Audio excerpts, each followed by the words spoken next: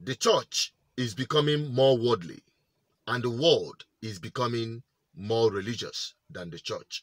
You will understand this statement by the end of this video.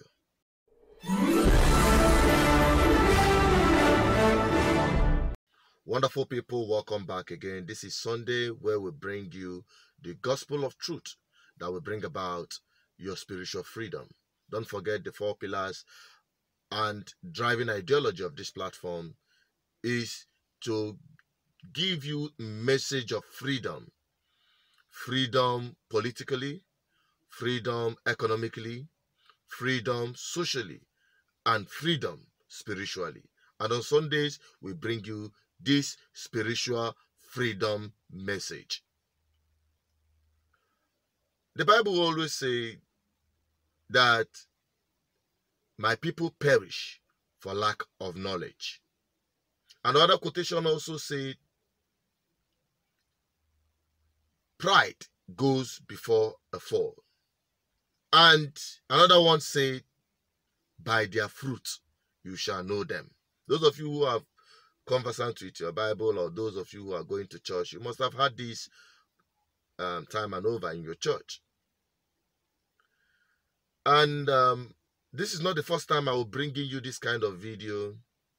By the time you finish watching it, please tell me what fruit did you see this video bears. I'll be right back.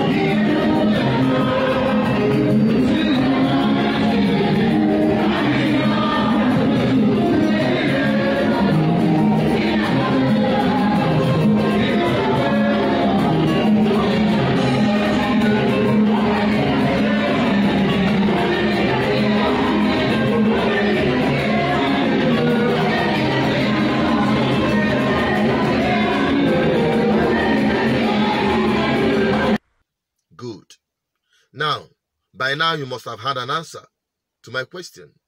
The video you saw that young man spraying money on the pastor at first, I thought, no, this is not a church. And um, this could be one of maybe the young man there, they are spraying money, is celebrating his birthday or something of that nature. Until it got to the point where the young man, after spraying money, knelt down, or while he was spraying money, knelt down, and he was being prayed for by the same man the money is being prayed upon. Now, you and I know that no person, no man that worked hard to earn his money in a legitimate way will splash this money this way. Just name anyone. Just name any person that had worked hard.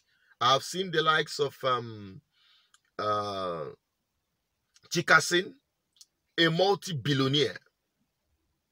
But he made it very clear that he, he doesn't spend his kobo before he spend a naira from his money. It must it must worth it. It must worth it. Now you see young people after doing the scam, after doing the um, Yahoo Yahoo, whatever they call it, the all of those things they do that you and I know native because they have, you know, they have given it a new name, saying a no be hustle na thief you be. If you dey do yahoo yahoo dey scam people of their hard earned money. And sometimes you go into business you divert somebody's fund and you bring it about this way. And sometimes perhaps some of these young people are being used by politicians to launder money.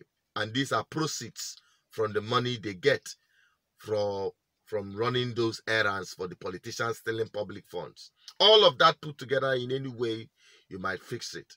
No man can ever splash his money this way if he had made it in a genuine way. If he had worked hard to make that money.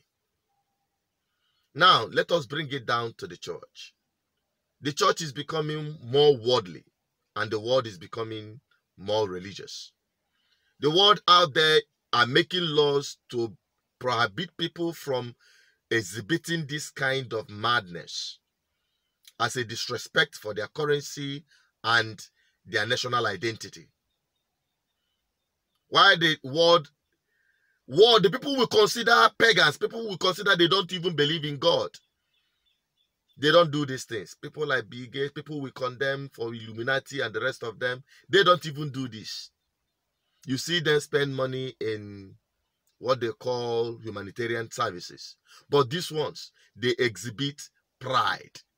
They exhibit pride arrogantly in the church. You see why I made that statement? Now, let me now also put further that these guys are going further to destroy their soul and as well their body.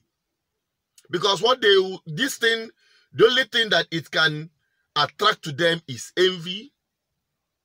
People might come up after him to kidnap him, to kill him. What else do you gain from it? But the church will not teach you this. Some of these pastors will not teach you this. Some of these religious leaders or those who are posing themselves as prophets, because we know there are many false prophets.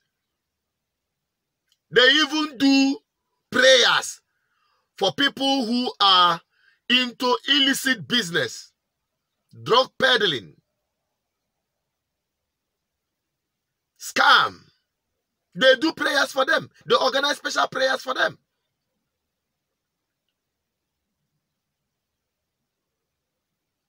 I don't need to talk too much so that I don't waste most of your time.